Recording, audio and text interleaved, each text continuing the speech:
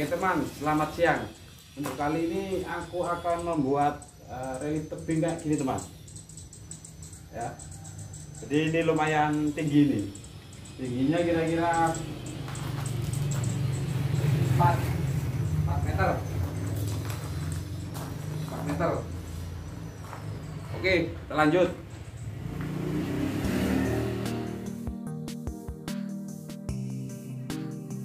Oke teman, sebelum kita kasih adonan semen, kita siram dulu ya pakai air biar adonan semennya lengket.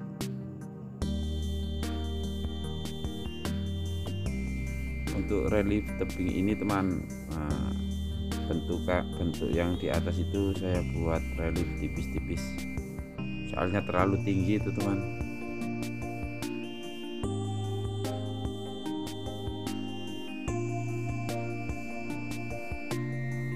Untuk rangkanya itu teman aku membuat beton besi beton itu ukuran 8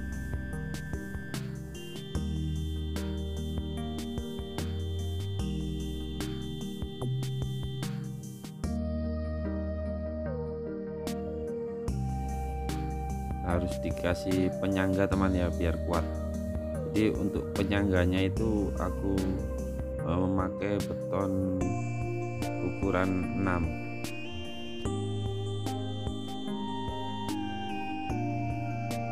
dan untuk kasarnya teman ya aku memakai kasar nyamuk yang biasanya gampang dilipat itu teman.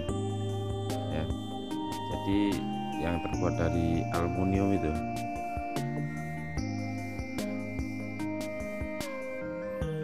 Setelah kita tempelkan kasarnya ke beton itu teman pinggir-pinggirnya kasa itu kita paku ya ke tembok.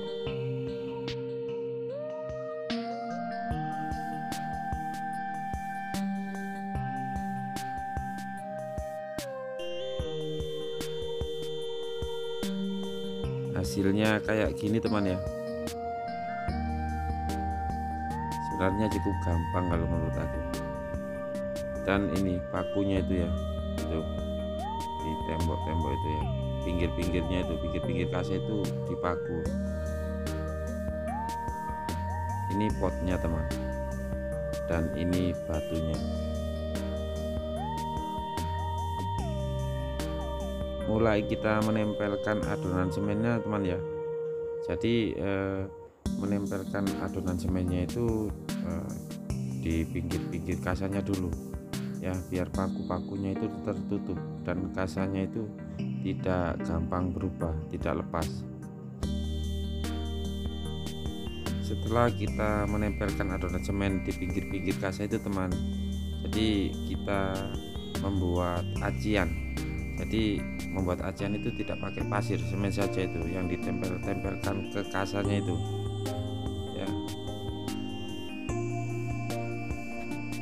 kalau menempelkan ajian semen itu usahakan rata teman ya. Di kasarnya itu teman ya. Dan tunggu kering. Kalau sudah kering baru kita kasih adonan semen sama pasir. Ini aku mulai membuat batunya teman ya. Jadi untuk batunya itu aku cukup batu bata saya tempelkan di atasnya itu. Di atasnya ram itu kalau misalkan semennya satu banding satu ya bisa nempel teman. Kalau misalkan semennya kurang itu biasanya itu gampang mengelupas atau tidak lengket.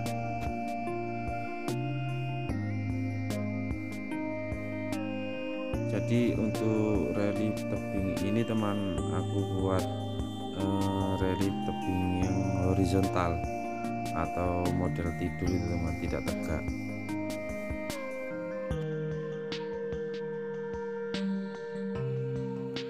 dibentuk sesuai inspirasi kita sendiri teman ya.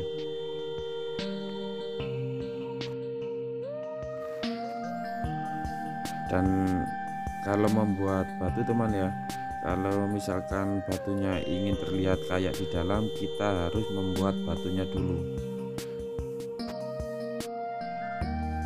Lalu tebingnya teman ya seperti contoh di video ini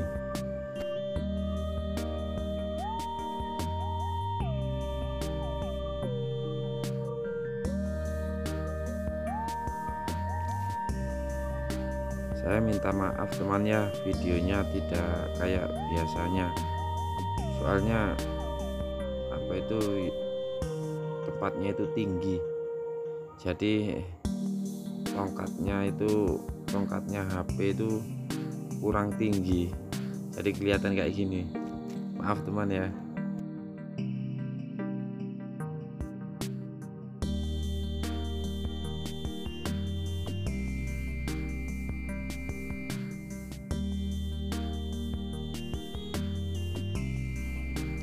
mulai pengerokan teman ya. Jadi untuk pengerokan ini aku membuat plat seperti biasa ya. Di plat kecil satu plat besar satu. Kalau untuk plat kecil itu biasanya itu untuk media yang kecil-kecil atau untuk melubangi. Kalau plat yang besar untuk media yang besar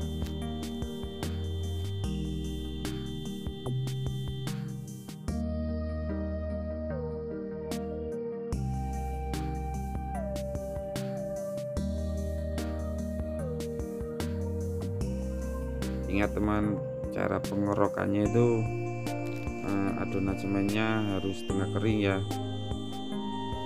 Kalau misalkan kering itu tidak bisa dikerok itu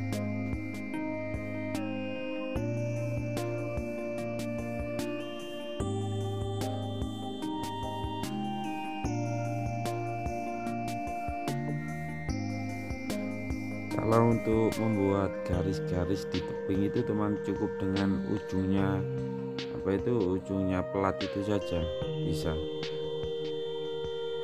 Seperti di pinggir-pinggir batunya itu uh, cukup ujung-ujungnya pelatnya saja itu yang dibuat mengerok itu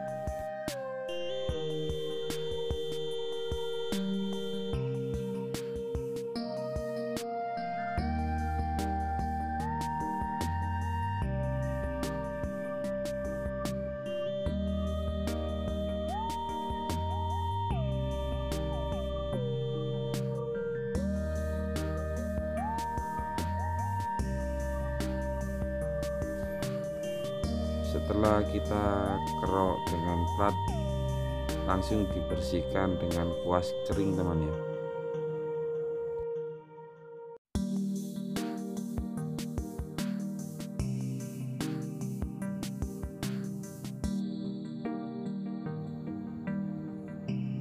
Oke teman kalau misalkan kurang jelas komen-komen di bawah ya.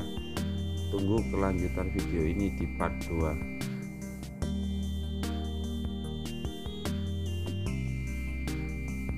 Oke, semoga bermanfaat. Terima kasih.